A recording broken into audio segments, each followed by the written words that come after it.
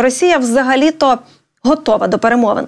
Принаймні таку заяву зробив колишній міністр оборони Російської Федерації та чинний секретар Радбезу Сергій Шойгу. Конечно, мы будем обсуждать те инициативы, которые страны выдвигают в части э, э, Украины. И э, у нас на площадке сегодня много инициатив. Основные из них можно, конечно, назвать, они на слуху. Это, конечно, Китай-Бразилия. Предложение их из шести пунктов, оно обсуждено у нас. Мы, конечно, будем говорить о том, что у нас с нашей стороны есть и то, о чем наш президент сказал 14 июня, выступая в МИДе. И, и конечно, то, что было э, фактически, можно по-разному сказать, парафировано, завизировано в Стамбуле. Вот. Ну и э, я не думаю, что у нас э, будет как-то обсуждаться то, что было в Женеве, потому что, мне кажется, даже сами участники не могут понять, что же там было, чего там такое произошло. Ми ж, на жаль, маємо поки що все ще дивитися цю бридку і цинічну російську пропаганду, щоб руйнувати кремлівські фейки. Але я нагадаю, Бразилія та Китайська Народна Республіка дійсно з травня просувають е, свій мирний план, так би мовити, політичне врегулювання української кризи. Там дійсно є шість пунктів, і от якраз ключові принципи дуже сприятливі для Росії. Але Шойгу додав, що Російська Федерація не піде на переговори доти, доки Збройні сили України залишаються на Курщині. Ба більше посіпака Кремля переконаний, що захисники хотіли взяти під свій контроль і Курську АЕС. Мова про наших захисників. Ну а власне для того, щоб нібито здійснювати те, чим насправді займається країна-агресор, тобто Росія, а це ядерний терор.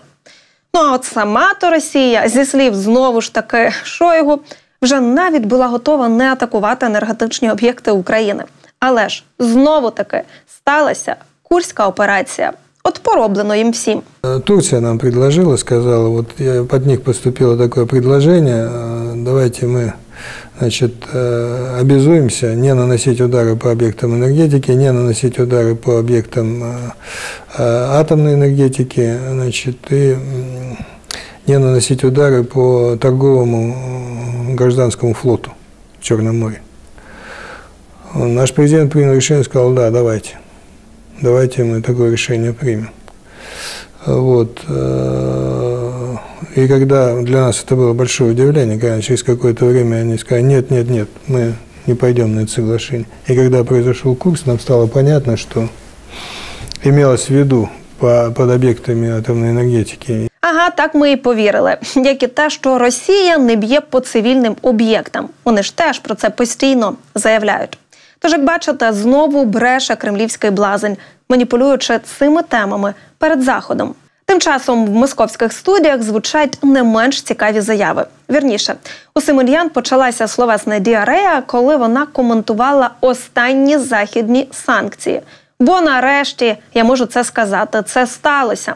Міністерство фінансів Сполучених Штатів Америки запровадило санкції проти РТ і Маргаріточки. Помимо того, что введены санкции, двое наших ребят обвинены в отмывании денег, помимо попадания под санкции. Это серьезная история. Это очень серьезная а. Как не они просто отмывали? Я не знаю. Понять не имею. Понимаешь, это даже не коррупция, это отмывание, Отмывание, денег. То есть они то есть делают нас таким каким-то мафиозным кланом, конгломератом. Вы просто посмотрите, вот что они говорят. Я даже специально вот для себя здесь выписала. РТ больше не является просто пропагандистским инструментом Кремля. Его используют для продвижения тайных действий российского влияния. И вот это моя любимая медиа-королева Путина, значит, заявила чего-то там. Вот, Слушайте, хорошо. я вас хотя бы об этом попрошу, коллеги. Вы же смотрите меня все, потом переводите. Я сейчас к западникам обращаюсь. Не надо вот этого, пожалуйста, медиа-королева. Нет уж, нет уж. Девочки, знаете, девочку легко испортить. Вот испортите. Конечно, я Королева. перестану, я вам поверю, перестану себя воспитывать, перестану сама себя ставить в угол, орать на себя перестану, растолстею, а Тиграну потом с этим жить. Поэтому давайте как-нибудь без, вот этого обойдемся. Мы не короли и не королевы, у нас государство демократическое, мы все солдаты. В общем, такой охоты на ведьм в Соединенных Штатах не было, наверное, самой охоты на ведьм, которая у них в 17 веке там процветала, когда только первые переселенцы строили свои первые городочки. Заткнуть нас не получится по причине, которую я объявила выше. Мы подчиняемся только приказам из Кремля. Так от, знаєте, чого їй так рве дах?